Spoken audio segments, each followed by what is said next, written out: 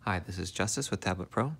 And the first thing we're going to do in our Photoshop setup video is we're going to change the graphic settings for Photoshop to high performance. So here you can see the settings here, system, power saving, and high performance. We're choosing high performance. To get here, you're going to go to display. So you right click on the desktop, choose display. That is going to bring you uh, right over here to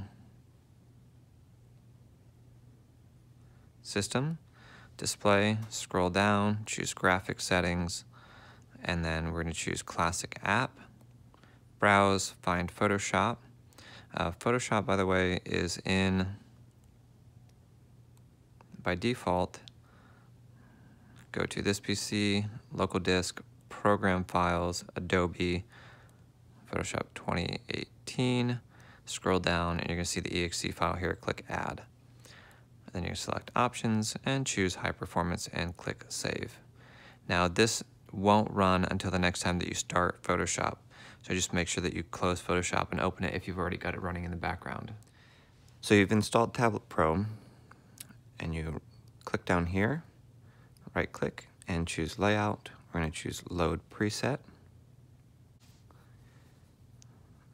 The definitive way to find the file if you're having trouble is you go to C drive, program files, scroll down to touch mouse pointer, which is the name of the component. And then right here in this file, this folder is the different files here. You can go Photoshop, CC, INI. I'm going to click open, apply, and then right click here and choose artist pad. And that's going to bring up the standard Photoshop UI. All right, so let's talk about getting Photoshop set up. So there's a couple different things that I have set up in Photoshop that are not there by default. So the first ones let's adjust is we'll go to Edit, and let's go to Preferences, General. Now I like when I adjust when I adjust the brush size, I like to be able to go up and down and adjust opacity. So that's under Tools vary brush hardness based on HUD vertical movement. Deselect that makes that uh, change opacity. With it selected, it's going to change brush hardness. I also have used shift key for tool switch deselected. And what that allows me to do is cycle through the different options here uh, on the side. Uh, so normally if you were to drag out, you'll see these two options or drag out and you'll see other options, two more options.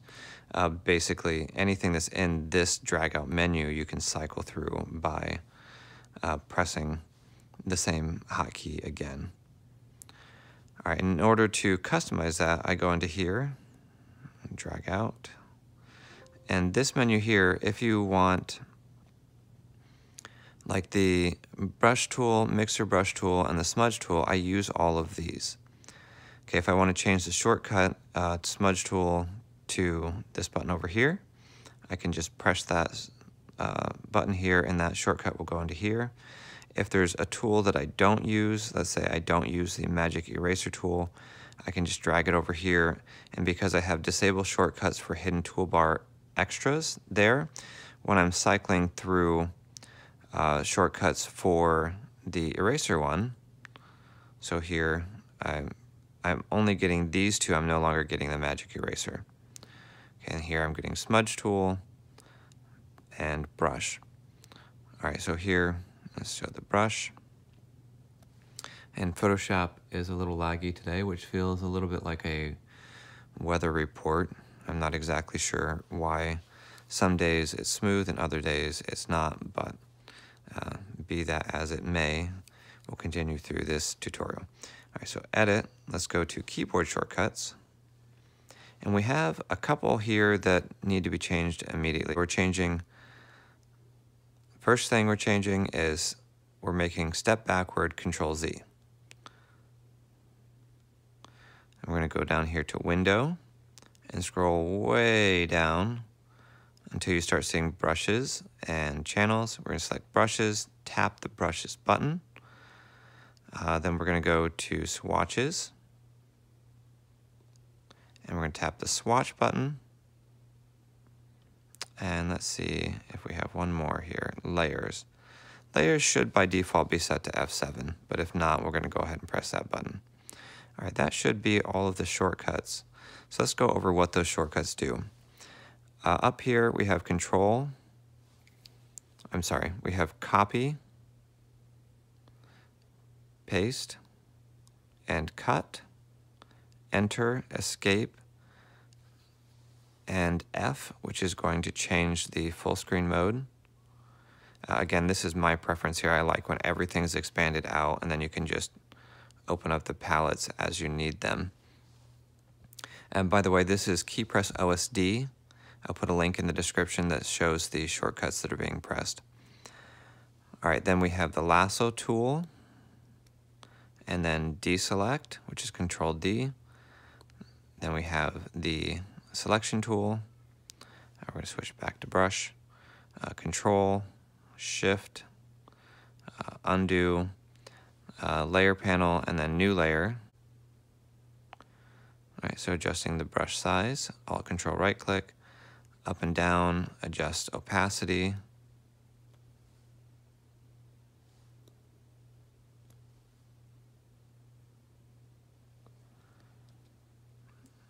The space bar and this one, it might work by tapping and then using the pen as opposed to holding down and trying to use the pen. So tap and use the pen. All right, here is our color selector. And this one uh, tends to be a little problematic. Some days it works well, other days not as well. When it is working, uh, it's, it's pretty phenomenal. It's definitely one of my favorite tools. Because you can very quickly um, get a lot of beautiful color changes. All right, you guys get the idea. Uh, Alt to select color. Uh, this works again by tapping, tapping, and then moving the pen over the area where you want to sample colors.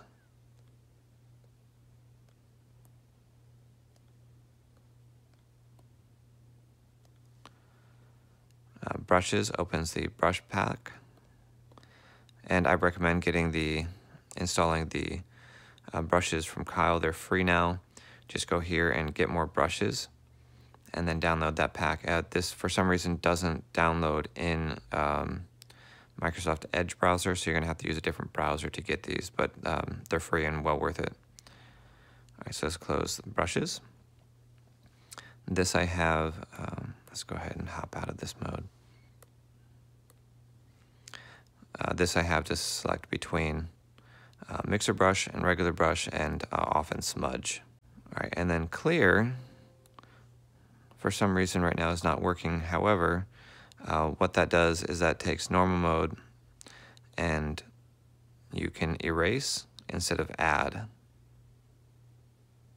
which gives you the same texture in your erasing process. So once you use this clear to get back to normal, you'd press uh, normal uh, norm right here.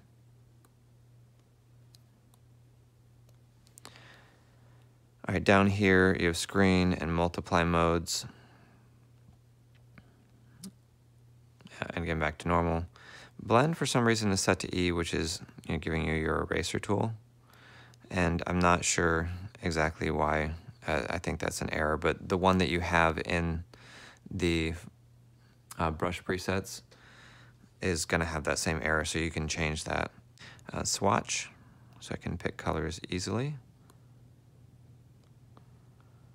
And then uh, we change this one to the smudge tool. Let's bring the size of that down a little bit.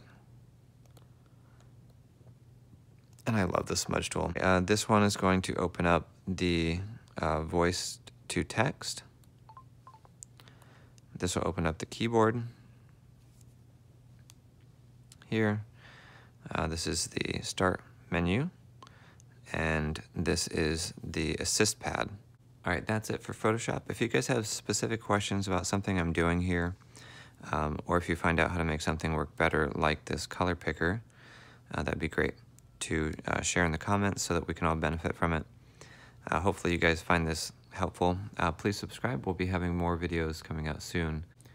All right, guys, thank you for watching. Subscribe, and until next time, stay creative.